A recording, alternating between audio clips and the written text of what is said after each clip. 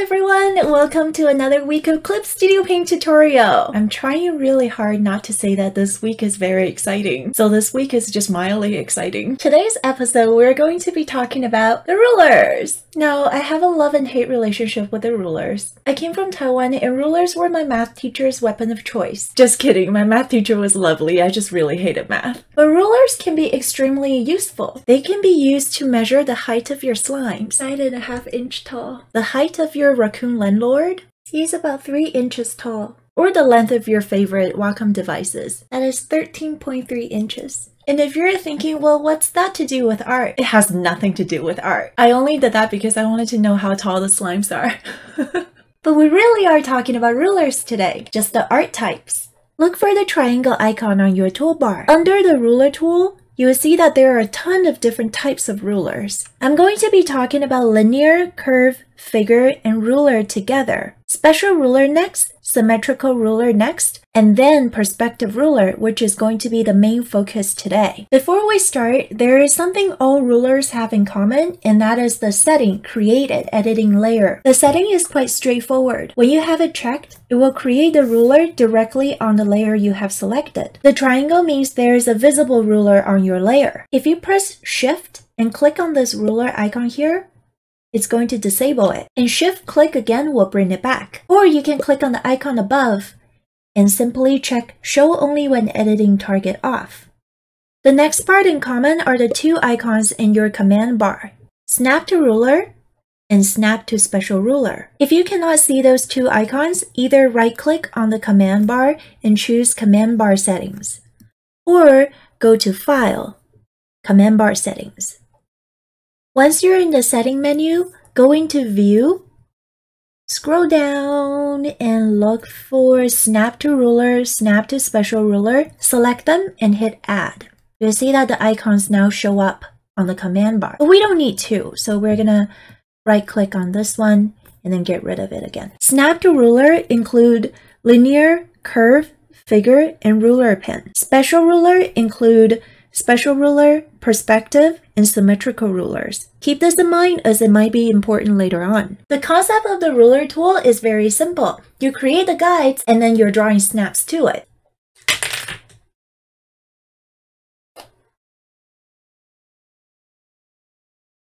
Masterpiece. But the Clip Studio Paint version is much fancier than that. The linear ruler draws a straight line. You simply drag and drop. Curve ruler draws a curve. A figure ruler draws shapes. You can choose rectangle, ellipse, or a polygon.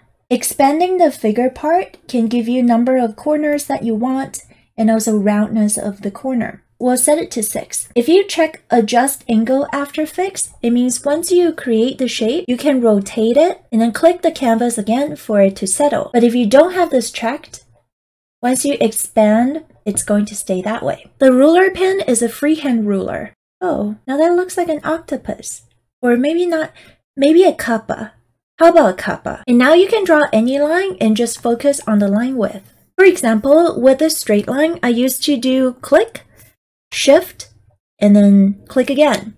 But that doesn't give me any line width adjustment. So with the ruler tool, I can draw a straight line with any kind of line width I want. And same thing with the rest of the rulers.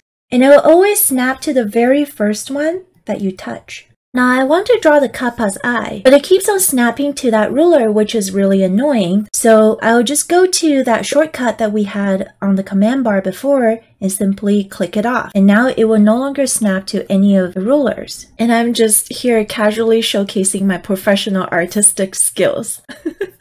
I guess it's an octopus. Using the Operation Object tool, you can always move any of your rulers. I would also like to point out the newest addition to Clip Studio Paint's update, the Bezier adjustment. If you're not seeing this option, remember to update your Clip Studio Paint to the newest version. Clip Studio Paint is always free to update, and they're very diligent in adding useful features for drawing and painting. The Bezier adjustment is something I really wanted Clip Studio Paint to have, and they finally updated it. While it isn't the focus of today's tutorial, tutorial. If you'd like to learn more about improving your curve in Clip Studio Paint, check out how to use the continuous curve tool, as well as how to use the cubic Bezier tool. They have very elaborate tutorials on their website. Back to my Cactopus. Special Ruler is amazing and I wish I had known it sooner when I was painting my Bayonetta. It would have made that magic circle so much easier to paint. The special ruler has a ton of different types. The basic concept for the special ruler is that you will be able to create multiple lines based on the same ruler. For example, while the linear ruler allows you to draw one line, the parallel ruler allows you to draw multiple. The concentric circle is what I would be using a lot in my paintings. Same concept as the figure ruler before, once you draw a circle, you'll be able to rotate, click it again to settle it. And now you can draw multiple circles based on the same ruler. Also, I'd like to say that I have no idea where I'm going with this illustration. Before we move on from this, there is one thing I would like to point out. Generally, I would recommend having different rulers on different layers. But if you're working on a complex drawing with a lot of different rulers on the same layer, remember to have Snap to Ruler and Snap to Special Ruler handy. Clip Studio Paint will always snap your stroke to the closest ruler. If I have both the ruler and the special ruler enabled, it will simply try to follow anything that is close. So if I want to draw more around the concentric circle, I have to turn off the snap to ruler. And now it's only going to follow the concentric circle because the concentric circle is part of the special ruler. Okay, you know, if I had known this drawing would get to this point, I should have drawn it on a vector layer. No sweat, I fixed it. You can transfer your rulers to another layer whenever you want by dragging the ruler icon to another layer.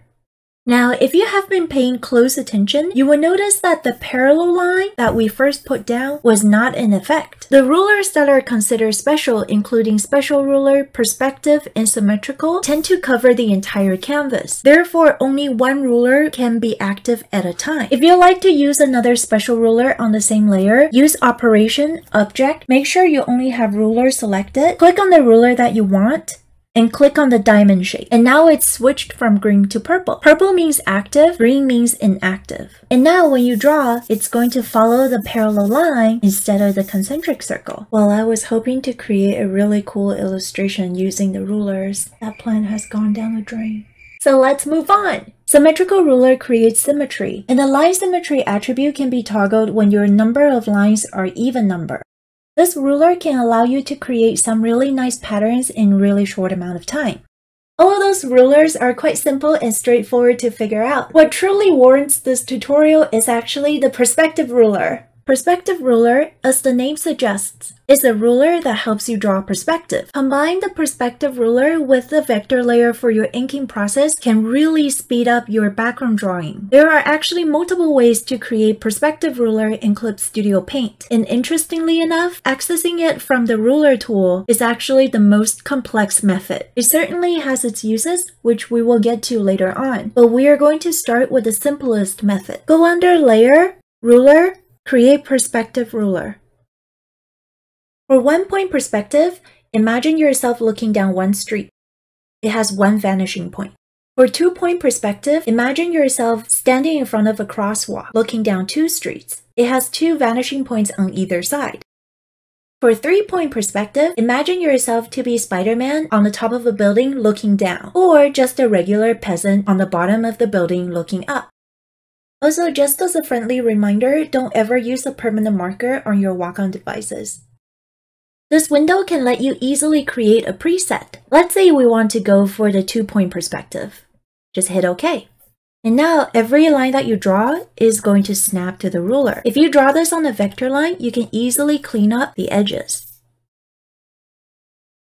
The snapping to special ruler shortcut is particularly useful in this case because once you have it checked off, you can freely draw anything and simply turn it back on again to draw in perspective again. What's even cooler is that even your selection can now be in perspective. Same with the ellipse. But more importantly, I want to talk about how to adjust these perspective rulers, because chances are you're not happy with where the horizon line is or where your vanishing points are. So going to Operation, Object, Click on the ruler and you will see a bunch of symbols. The biggest circle moves the entire ruler. The medium circle moves the location of the bars. If you want a vanishing point to be further away, you simply drag it out. The middle one moves the horizon. The smallest one on the horizon line rotates. The smallest one on the vanishing point bar moves the vanishing point when it's out of sight. So you don't have to constantly like zoom out and then find your vanishing point. Oh, it's right there to adjust it. You simply have to move these ones. The initial direction of your line decides which ruler it's going to snap to. But sometimes if you don't want the other vanishing point to be interfering, click on the little diamond shape right here and you will see that the line has turned green. Green is disabled Purple is enabled. Now even if you try to draw towards the green vanishing point to the right, it's not going to do that as it's only snapping to the purple line on the left. Honestly, they really could use better icons to represent these. The same thing applies to one point and three point perspective. Although for three point perspective, you would have to zoom out if you want to adjust the vertical line. Look for it here. Also, when you have a perspective ruler selected, you can look under grid in the tool property panel. You can enable the grid for easier view. But if you find it hard to wrap around the idea of dragging those dots, here's the third method. Right click on your layer menu, go into new layer and select 3D layer. This is the same 3D plane you saw from last week's video. You can adjust the angle by using the object tool to drag it around, or expand on the camera option and change the perspective. You won't be able to draw directly on the 3D layer, so hit Shift and click on this ruler icon on the 3D layer. Start a raster or vector layer on top of it, and now you have some perspective rulers to follow. The best thing about this method is that you can always go back into the object tool on your 3D layer and readjust the camera position for a slightly different angle. So in my opinion, the presets and the 3D planes are the two simpler way to use the perspective ruler. And I'm just going to pretend that you asked about the original perspective ruler in the ruler tool. The perspective ruler within the subtool panel is very useful when it comes to recreating perspective from a reference. This is my beautiful, totally not questionable basement in Animal Crossing. Using this as a reference, you'll want to select perspective ruler. Let's actually not create an editing layer and simply draw a guide following the object in your reference. Remember to always draw two guides to create a vanishing point. You would know that you did it correctly when the lines turn purple. Now do it for the other side. And now when you zoom out, you can see that it automatically created a horizon line for you. And now you can add in more object that will follow the same perspective very easily. And with this, you can easily create guidelines from your reference photos. If it's a more complex reference, you can always create more guides for it. You will also always need two guidelines to create one vanishing point. So try to find two lines that will follow the same vanishing point. Same with the vertical vanishing point. And now you can study perspective using photograph with the help from the guides. And that is the use for the rulers. I also admit I'm not an expert on background art, so I like to give a special shout out to Clip Studio Tips on Twitter, as well as Dadotronic. Clip Studio Tips is filled with really in-depth knowledge on Clip Studio Paint. I actually learned the 3D plane from him. And Dadotronic, who is an incredible artist, is the person that's behind it. And it often blows my mind how powerful Clip Studio Paint can be. While I feel like I know quite a bit, I'm still constantly learning new things from the community. So please check him out as he has so many assets that I never would have imagined to make. And that is it for today's tutorial. Next week, we're going to talk about the function that Clip Studio Paint was originally designed for. Guess what it is? Again, thank you guys so much for watching. I am the one with Bear. I will see you next week. 12 inches.